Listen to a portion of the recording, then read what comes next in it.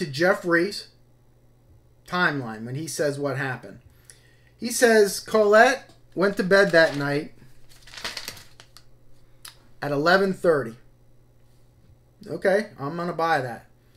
He says he stays up, he's reading a book, blah blah blah. 2 o'clock in the morning, he does the dishes. Don't know. But at 2:30 a.m., Okay, now we're getting close to the murder time, right? 2.30, 3 o'clock in the morning. At 2.30, he goes to bed. He finds that Kristen, the two-year-old, has wet his bed. He gets her up. He takes her back to her room. Remember, this is not what he normally did, according to Colette, what she told her class. But he takes her back to her room, gives her a bottle. He goes and sleeps on the couch. And that's when chaos ensued. So we can narrow down everything. I think he's telling the truth. You know, up till 2:30 in the morning. When he goes to bed, he had just worked a 24-hour shift at the hospital according to the CID reports, a 24 hour shift. He had taken a nap, but he had worked a 24 hour shift. Very important. After he finishes reading and doing dishes, I don't know if I buy that one, but we'll, I'll give him the benefit of the doubt so far. He then goes into his room. And I believe that Kimberly was in his bed, not Kristen. And Kimberly wet the bed. Now, why is he saying Kristen? Well, because I believe that he's distancing himself from the reason that this murder took place. Kimberly is five. She also had a bedwetting issue. Now, whether this issue was cured or not, is unknown. However, what leads me to believe this is that Kimberly's blood is found in that master bedroom. Not a trace amount. Good six inch puddle of it. Now, I'm not saying that he lashed out at the child and started beating her because of this. I'm not saying that. But listen to what I think probably took place. Now, remember back when I said about the fibers being the most important, and then I flopped that? He had a pajama top on.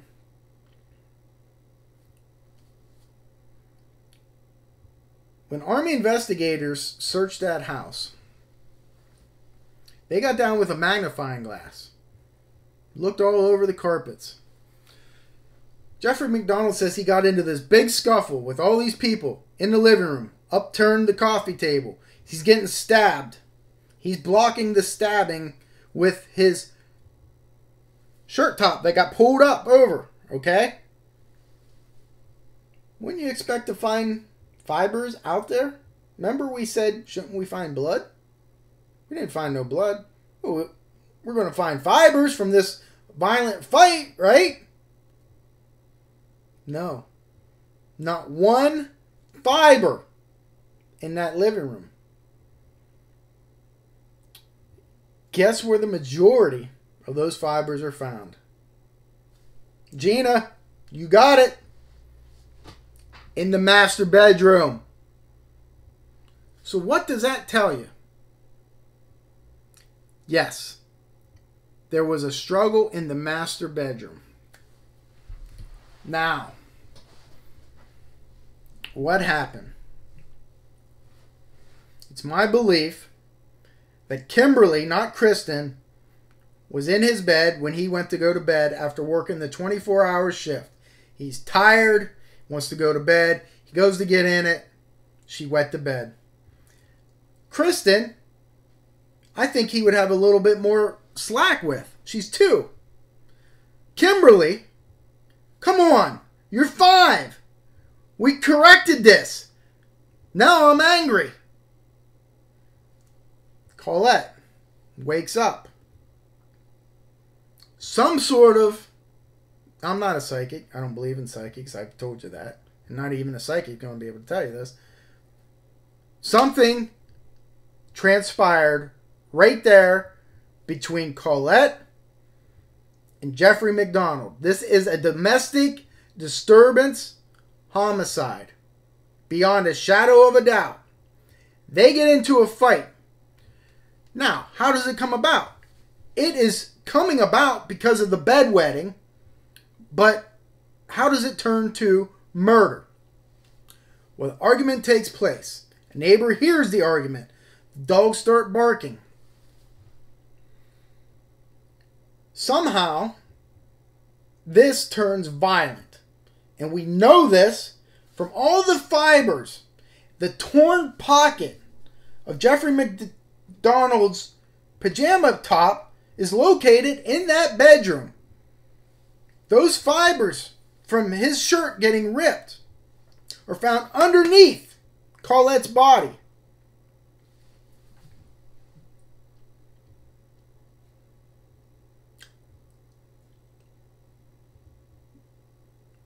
Are you with me so far? 'Cause let me tell you now how the weapons get introduced.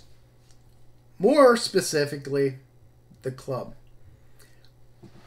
Okay, when I was thinking about this and doing my research, I could not I could not come to grips as to okay, I knew it was him. You know, you go in with an open mind. Could be an intruder, but the evidence, everything, totality of everything got me to rule out the intruder. Now it's him. Okay, that was fairly easy. What is difficult is why and how. The urine stain, from what I researched, and I couldn't find it the second time I went back in to look for it. But it stuck out to me that it said that it could not have come from Kristen, but it couldn't be ruled to anybody else.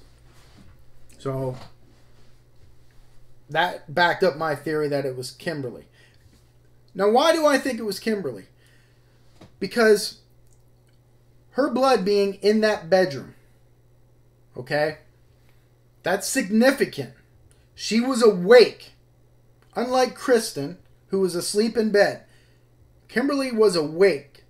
How does she get awake? She either gets awake because of the argument between Jeffrey and Colette, or she's involved in the argument, which I I don't necessarily believe. She was in that bed, I believe. She peed the bed. It started the argument. He's tired, 24 hour shift, back to the club. So Colette and him get into this argument. How it escalates to a physical fight I don't know, but it does. He pushes her. At some point, he punches her, whatever it is. He pushes her against that bed. And that bed, remember the, the club? You know, the bed being on top of the club? When he pushes her against that bed, or she falls down, it dislodges that. She stands up. He punches her. She falls down. When she's laying on that ground, facing that bed, what does she see? A weapon of opportunity. He doesn't see that because he's not on the ground. In his mind, if he's fighting with her, he is not going to be like, oh yeah, I got this wooden club here. Let me hit her with it. No way. No way that happens. She introduces it. She introduces it as a weapon of opportunity. She got punched in the face. That is Bohr's evidence in the autopsy report. When she's laying down on the ground, she comes up with that club. to defend herself. All that does is enrage him more. And now it turns from a very physical domestic disturbance to murder. Because he grabs that club from her and he smacks her with it right across the head. And she drops. Now, does he turn and hit his daughter Kimberly, who is probably trying to get in between them to stop it? Yes. Now, the prosecution, I believe, will say he hit her accidentally. I don't believe that because of the the force of that injury, cr- crushing her skull, busting her nose enough that it goes to one side. That's not an accident. Okay? That's on purpose. He hits her with it. She falls right there next to her mom. That's how her blood gets on the carpet in the master bedroom. Now, how does the other weapons get introduced?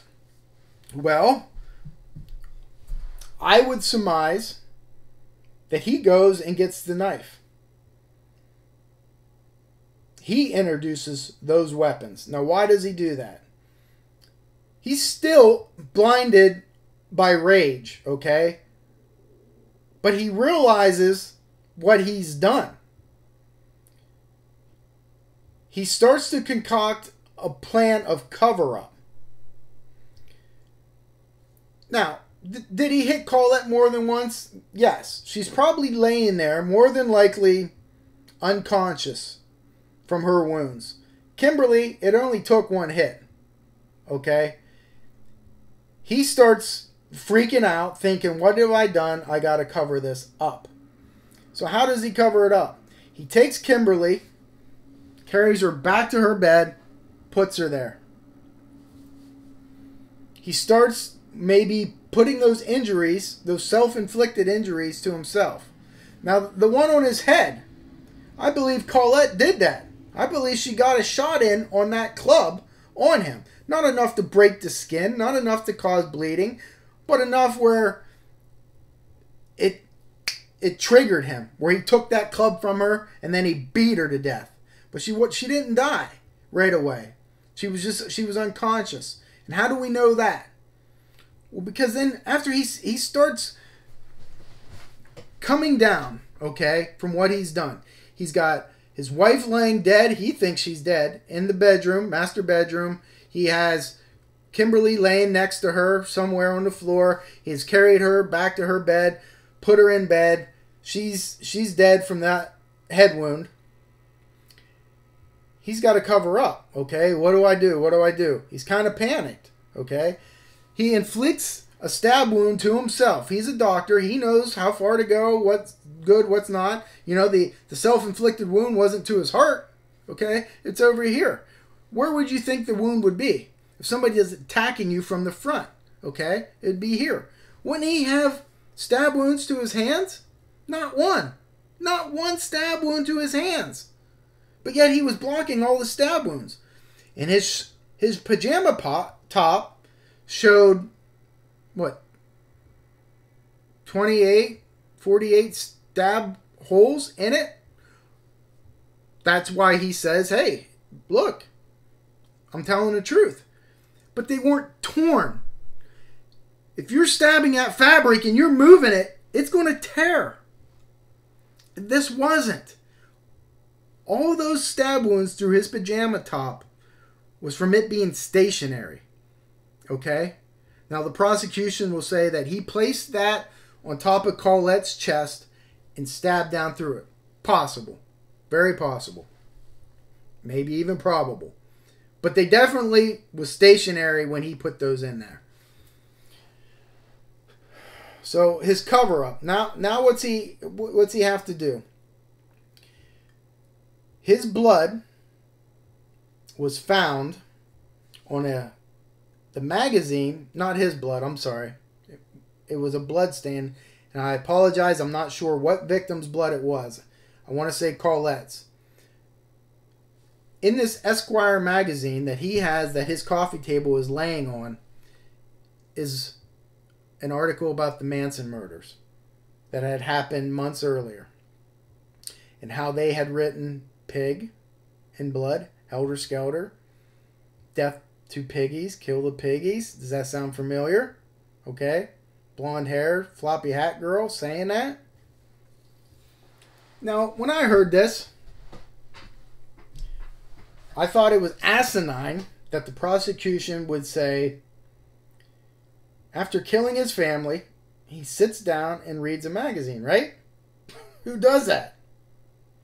I don't think that's what happened. I think what happened was it, triggered in his mind as a cover up. Didn't I read somewhere about those Manson murders? I read something. What did they write? What what did they That's why he referenced the magazine. He went back to refresh his memory. Oh, piggies, pig, written in blood. Yep. Then he went to the headboard and wrote pig in Colette's blood with a surgical glove. That's why there was only a piece of it found in there. He probably flushed the other part of it, not sure.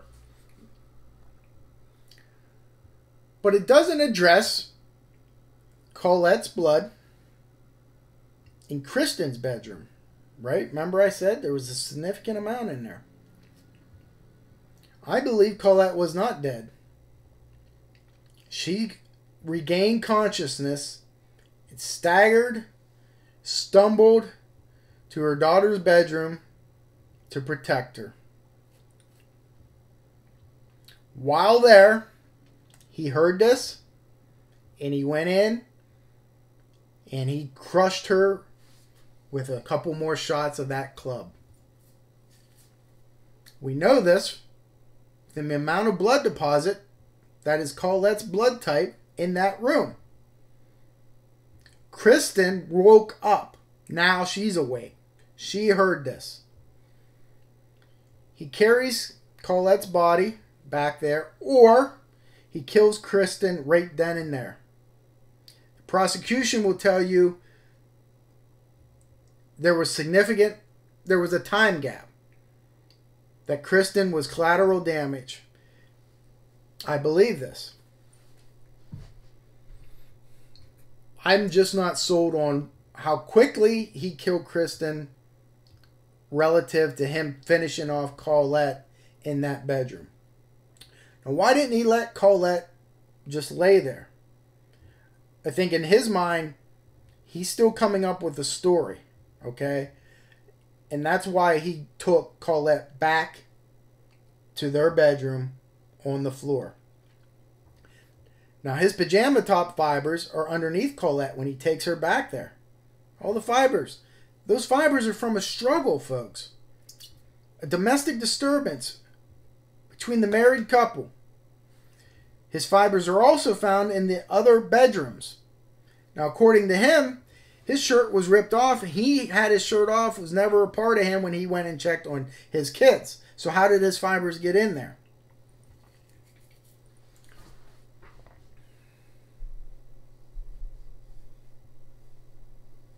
He goes after Colette is dead. He goes and gets a knife and he goes in and he ensures death by stabbing them numerous times in the chest and the throat. Same with uh, Kristen and Kimberly. Okay. The knife he introduces in order to finish them off. Now, why does Kristen have stab wounds in her back? She has them in her chest. She has them in the back. With an ice pick, which are not as deep as the ice pick wounds in Colette. That would lead you to believe maybe that he's had a cooling off period and she's collateral damage. She had waken up, I believe, during the assaults. She had defensive stab wounds to her hands.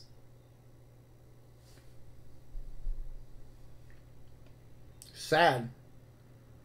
Such a significant parallel to Chris Watts, I believe.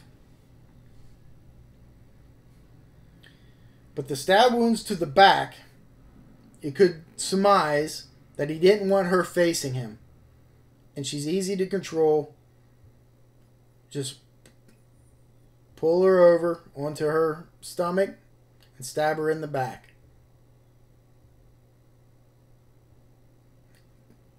Incredibly callous.